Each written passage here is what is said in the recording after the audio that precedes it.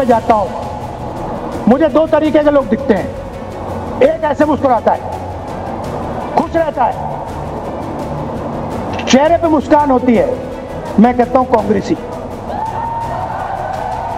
और एक मुझे ऐसे दिखता है। मैं कहता हूँ, आरएसएस। ये जो यहाँ पे बैठे हुए हैं, ये ये देखो, सारे के सारे मुस्कुरा रहे हैं। देखो अमित शाह की स्पीच देखना, मोदी जी की स्पीच देखना, वो सब ऐसे बैठे रहते हैं कि कुछ गलती से कहना दे। पता नहीं क्या हो जाएगा। यहाँ पे हमें लगता है, ठीक है भैया दो तीन बार चिल्ला भी लिए, कोई प्रॉब्लम नहीं है। संभाल लेंगे हम।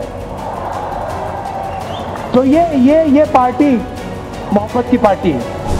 ये जो छोटी छोटी पार्टियाँ घूम रही हैं, ये बीजेपी की B team C team D team E team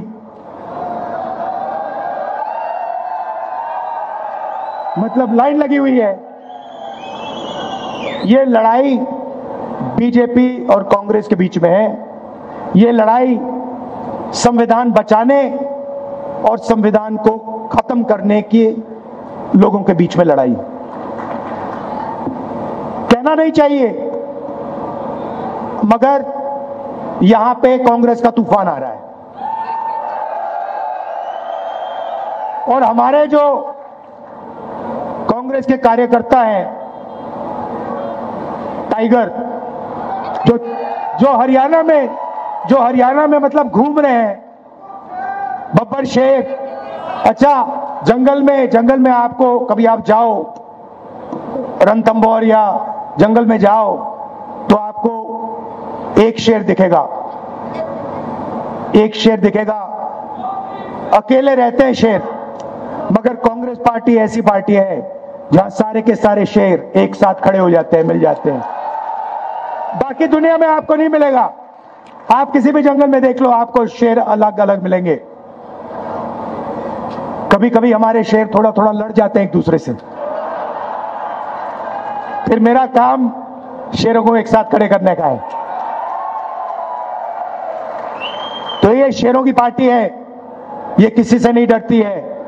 और हमारे जो कार्यकर्ता हैं शेर है टाइगर है। 24 घंटा आप लगे रहते हो, लाठी खाते हो। मैं जानता हूँ, कुछ भी हो जाए, कांग्रेस पार्टी का जो कार्यकर्ता है, ये आरएसएस वाले लोग बहुत लंबी लंबी बातें करते हैं। इनके कार्यकर्ताओं में दम नहीं है। इनके कार्यकर्ताओं में दम नहीं है। कांग्रेस पार्टी के सामने ये नहीं खड़े हो सकते, भग जाते हैं।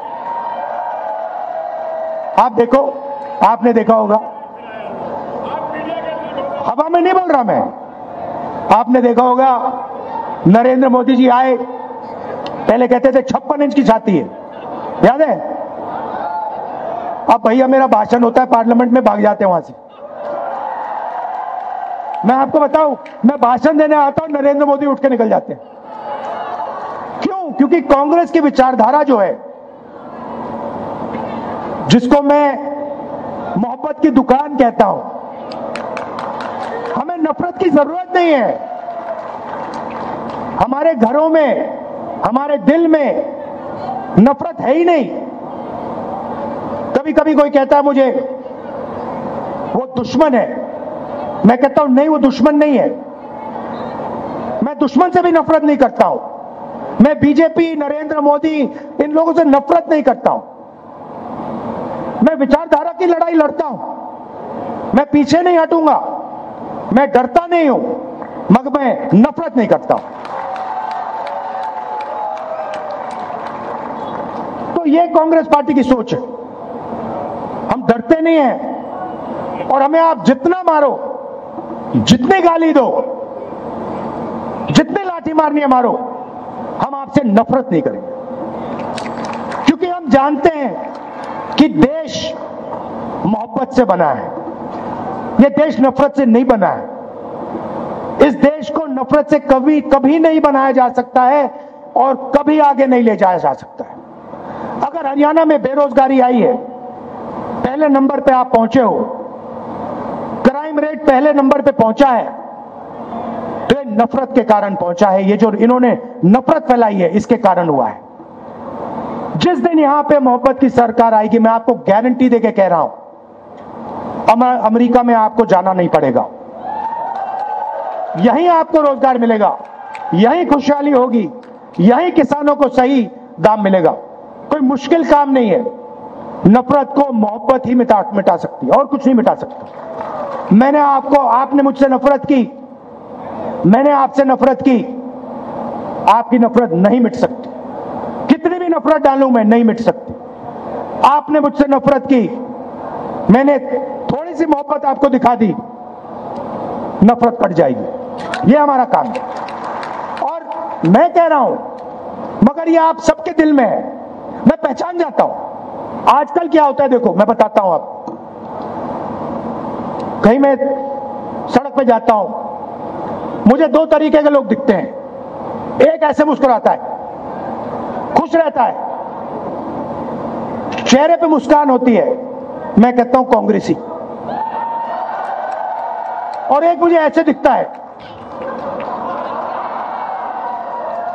मैं कहता हूँ आरएसएस। ये छुपनी बातें, ये कभी कभी आ जाते हैं पार्टी में। देश बदल के आ जाते हैं। मैं बस देखता हूँ इनको। आरएसएस।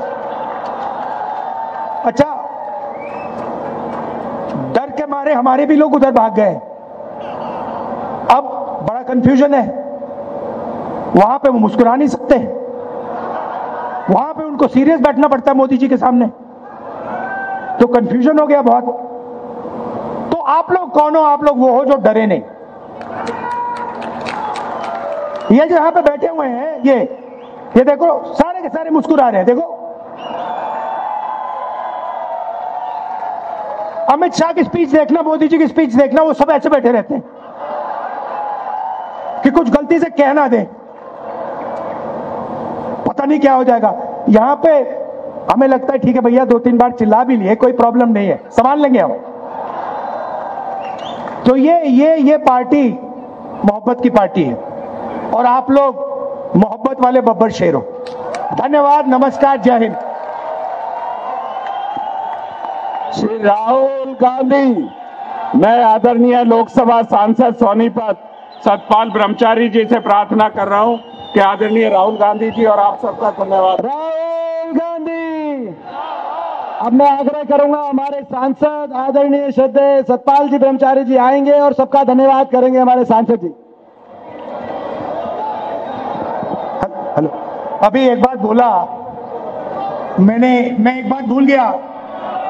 मैडम ने मुझे बताया कि शेर है और शेरनिया भी हैं।